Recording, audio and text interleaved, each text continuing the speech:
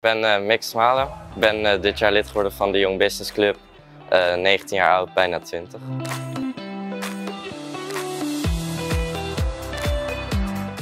Nou, we gaan padellen met z'n allen.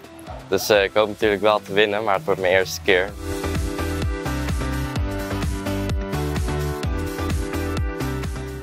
Ik ben uh, afgelopen jaar begonnen met een uh, online office manager leveren. Ik ben na mijn studie bij, me, bij het bedrijf van mijn ouders gaan werken.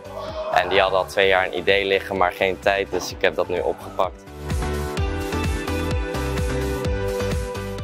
Ik wil eigenlijk veel connecties maken gewoon in het bedrijfsleven. Ik ken nu veel mensen van mijn opleiding, maar ik wil ook wat uh, meer mensen leren kennen in andere takken van sport. Toen ik hoorde over de Young Business Club ben ik een beetje informatie gaan opzoeken. Uh, een keertje met Sander gezeten en toen uh, dacht ik dat dit wel mooi aan zou sluiten met wat ik nu doe allemaal.